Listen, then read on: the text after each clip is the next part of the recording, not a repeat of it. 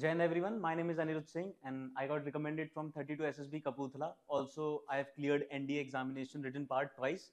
So today I'm here at Manekshaw Officers Academy to share my uh, strategy, to share my preparation. How did I prepare for the written part? How was I able to clear the written examination twice?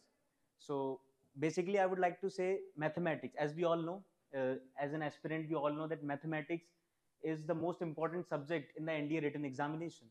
If you're not able to clear the mathematics part, your GAT portion will not be checked even, right?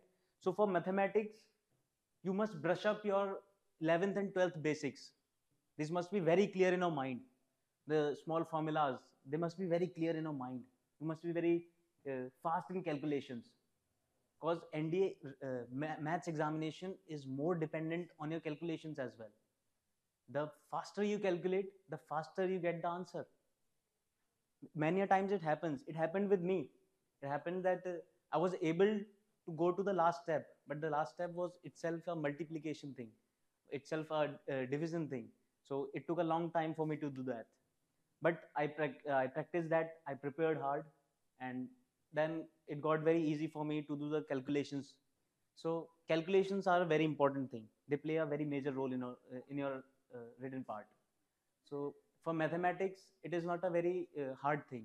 Mathematics is uh, average level mathematics, I would say, comes in NDA examination. Four to five questions are there which are quite a high, high level, but not that advanced. So for that, it is uh, mandatory to read 11th and 12th mathematics books, plus your, uh, your consistency and your practice. These two things, if you devote, if you devote them with full passion, zeal, enthusiasm, that is the time, that is the part where you are one step closer to your goal, where you are one step closer to your dream, right? So, being consistent is not an easy part. I agree on that. It is not an easy part and neither too hard. It takes only 21 days to build a habit and 90 days to build a lifestyle. But we do not have that much time, right?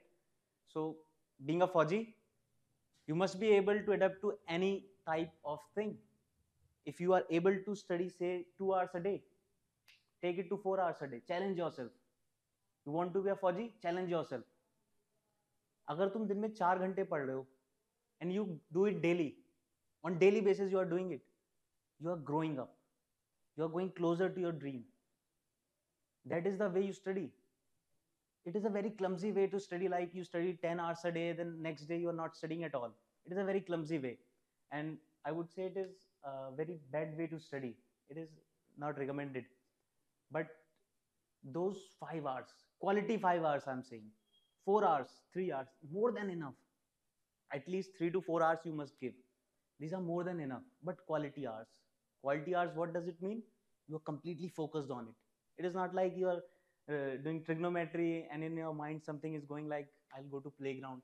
That is not of much benefit do one thing at a time. Your mind is designed in such a way that you can do one thing at a time and that too with perfection. You are studying you study. You're playing you just play. Do not just mix up the things right? Now coming to the gat portion. Gat portion english. 200 marks very easy to grab. These are like fruits on a table. You just have to pick them up and eat them. I scored 200 on 200 in english. Not that i was a very meritorious student. I'm very good uh, in English. It is not like that. It is all about your hard work. It is all about your preparation. It is all about your consistency. In English, anyone, if I can do it, anyone can do it. That is, uh, you can say, a very easy thing to do.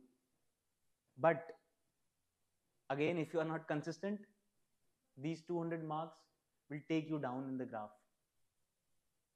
for uh, the other things like history, geography, economics, polity. These were not very good of mine as well.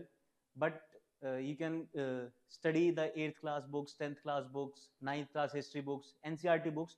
These are very beneficial in that. And moreover, you have to make your study structured. Do not make it very clumsy. Do not mix up everything. Make a timetable, structure yourself, and study in a proper way. Because studying itself is a art I would say. Studying is an art. The way you study decides how many quality how much quality time you can devote and for revision part i would say revision is very important thing for revision what i did that uh, uh, just in front of my study table there was a wall and i pasted 10 to 12 uh, papers and on those papers i wrote down every mathematics thing every formula every trick whatever it was so i wrote a, i wrote it down and pasted it on the wall. So whenever i went to that room i just used to see through i just used to go through that through those papers and recall those things. That is the way i did. And it is not necessary that you also do that. I was not so good in mathematics. That is why i did that. It is all up to you the strategy you pick up. But the most important thing whatever the strategy you are following the most important thing in that your consistency your practice plus your quality time these three things if you are giving congratulations jai.